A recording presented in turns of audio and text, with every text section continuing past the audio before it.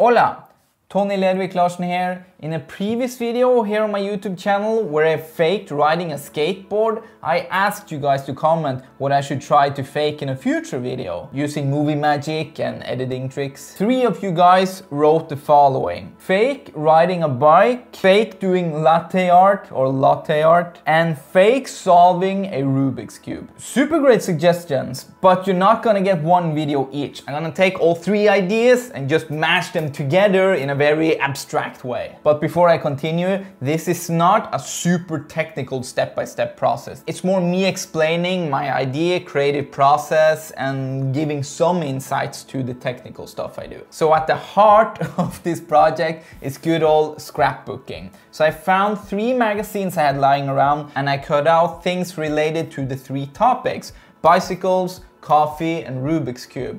And Rubik's Cube was especially hard, so I had to get creative and look for shapes that could represent a cube. So after cutting out all the shapes, I took pictures of them, my way of scanning, imported them to Lightroom, sent over to Photoshop, cut out the shapes using pen tool. You can use both Photoshop files and PNGs in After Effects. I think it's easier to just use PNGs. In addition, I wanted to add myself, intern Polly, as well as some latte art from the creator who came with the wish of faking latte art. So I cut those out from digital files in Photoshop, exported and categorized them with the other material as well. Despite being a very abstract project, I imported all of the materials to Premiere Pro, created a storyboard and also found a song that I trimmed down to fit the project. Hi, Future Toni from the editing room. While I was editing the video, Audiio came out with a new licensing deal. It basically means a new plan where you could use the music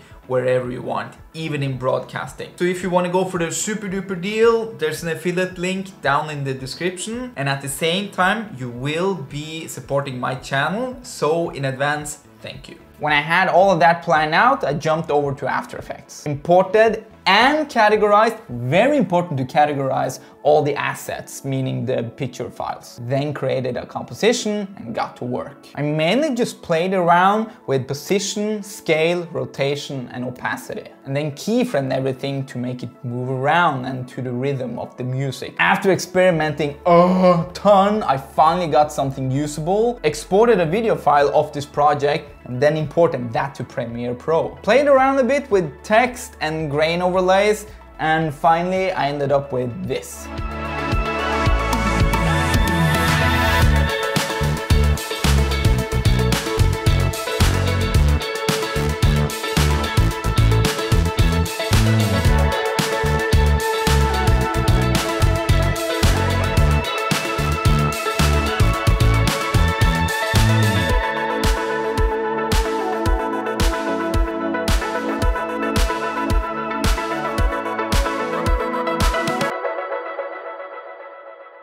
Very abstract stuff, but hey, I got the job done. I actually faked the shots that you guys asked for. So thank you to these creators here and to other people watching. Comment down below, give me some new suggestions for things to try and fake in future videos. And as an extra bonus, I actually picked up a replica of a Rubik's Cube. So let's see if I can solve it by hand.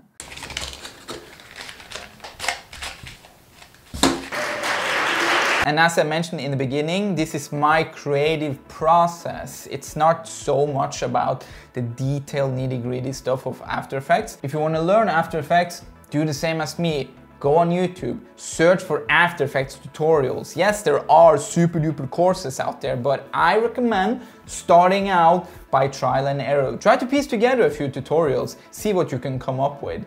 And if you want specific things to search for, Try searching for After Effects project settings, workspace, composition, pre-comps, assets manager, and then look into the basic techniques of animations like positions, scaling, rotation, opacity, keyframes to make everything move. It may seem overwhelming, but I really encourage you, just start slow, start with the basics. Just spend a little bit of time every day, and before you know it, we are all gonna be After Effects experts.